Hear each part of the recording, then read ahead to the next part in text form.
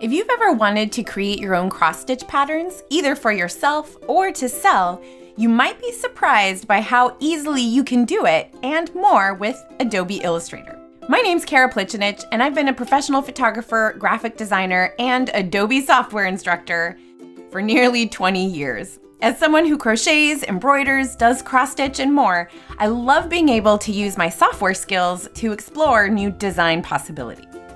In this class, I'll teach you everything you need to know to create your own cross-stitch design from scratch in Illustrator, even if you're a total beginner. You'll learn how to set up a new document and use a small handful of Illustrator's most simple and basic tools.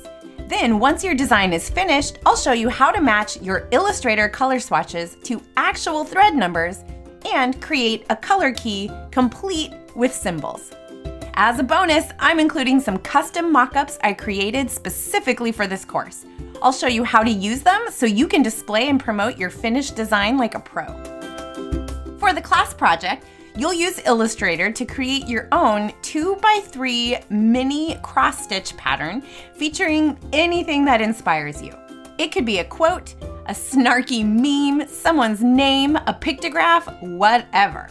One of my favorite things about being able to design my own cross stitch patterns is being able to whip up small personalized gifts in a flash. So once you stitch up your new mini masterpiece, you'll find that it fits perfectly in these cute and inexpensive little frames you can find at pretty much any craft store. And you'll find a direct link to them in the class notes. So if you're ready to dip your toes into Illustrator, create your own cross stitch pattern, and take your hobby or side hustle to the next level, Download the class resources, and if you don't already have Illustrator, go grab a free 30-day trial from adobe.com and meet me in the next video.